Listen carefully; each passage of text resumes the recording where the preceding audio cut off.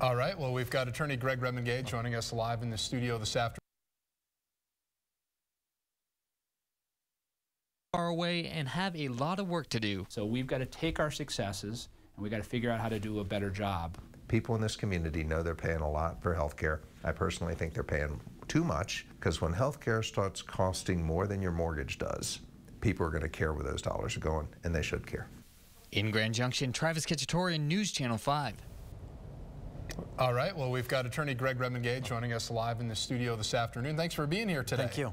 And today uh, we're sort of shifting it up, uh, switching it up a little bit for your yeah. topic. Our legal advice for today is since it's Thanksgiving, we all need to start thinking about and have been thinking about ways we can help those less fortunate.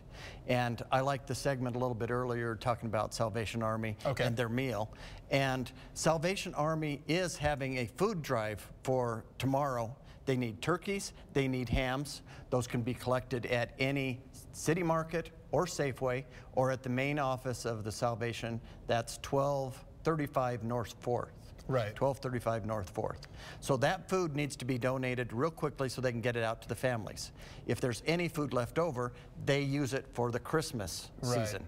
We also think about the Christmas season and the toys. I know you guys are helping Salvation Army yes. sponsor a National Guard toy drive. The other sponsor is Home Loan. There are boxes all over the valley where people can drop off toys for the Salvation Army and that toy drive. And a lot of people think, you know, it's the day before Thanksgiving. Ah, it's too late. But I'll be honest, I've got to run out to the store tonight to pick up a few ingredients for stuff I'm going to make tomorrow. And this is one of those opportunities where you've got a couple of extra bucks in your pocket. No matter how Absolutely. small it is, you're contributing to help somebody else who doesn't have that extra money in their pocket. Absolutely. And like I said, even if we can't get it to the people tomorrow, right. it's going to carry over for people that need it through the rest of the winter. Salvation Army always has a clothes drive.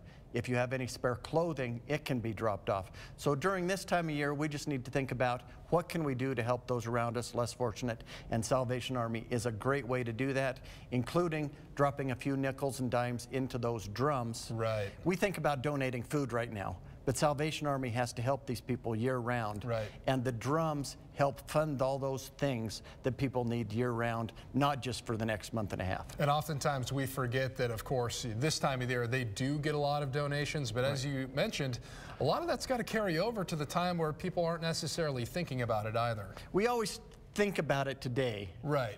But we do need those funds for the year so that people can be helped all year long. And this is what they use the drive for. Collect money now while people are thinking about it so it can be used all year round to help all those people. All right, well, Greg, Thank great you. advice there. Thanks for stopping by the studio today. If you have any questions for Greg, I encourage you to give him a call at the phone number on your screen and stay tuned. I've got my full weather forecast coming up after this short break.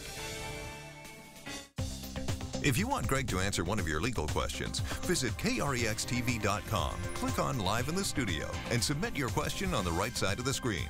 Watch Greg's segment every Wednesday on News Channel 5 at noon.